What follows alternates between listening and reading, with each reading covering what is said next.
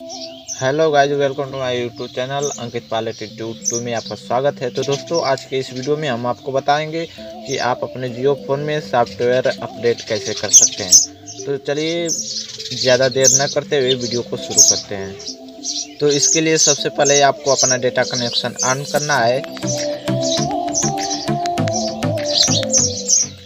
हम आपको बता दें कि सॉफ्टवेयर अपडेट करने के लिए आपके सिम में रिचार्ज होना आवश्यक नहीं है।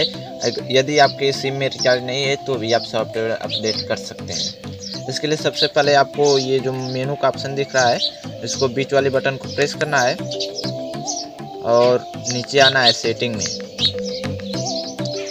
और सेटिंग पर आने के बाद आपको ओपन करना है। और ओपन करते ही आपके सामने कुछ इस प्रकार का इंटरफेस ओपन हो जाएगा।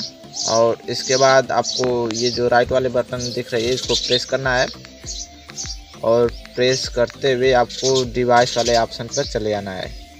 और डिवाइस वाले ऑप्शन पर आने के बाद देख सकते हैं, पहला नंबर जो दिख रहा है आपको सॉफ्टवेयर अपडेट आपको सिंपली इस वाले ऑप्शन पर क्लिक करना है। इसके लिए आप, ये जो बीच वाली बटन दिख रही है, इसको प्रेस करना होगा। प्रेस करने के बाद देख सकते हैं चेकिंग फॉर अपडेट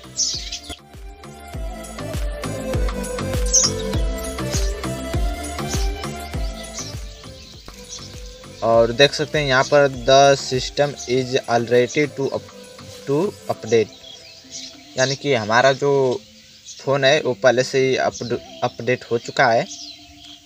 यदि आपका फ़ोन पहले से अपडेट नहीं है तो जाकर अपडेट कीजिए, क्योंकि यहाँ पर नए नए अपडेट आपको मिलते रहते हैं जियो फ़ोन में।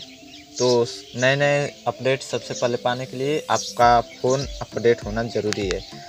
तो उम्मीद करता हूँ कि आप सीख गए होंगे कि नहीं, सॉफ्टवेयर अपडेट कैसे किया जाता है। तो अगर वीडियो पसंद आई हो तो वीडियो को लाइक कर दीजिएगा। बस मिलते हैं अगले नेक्स्ट वीडियो में।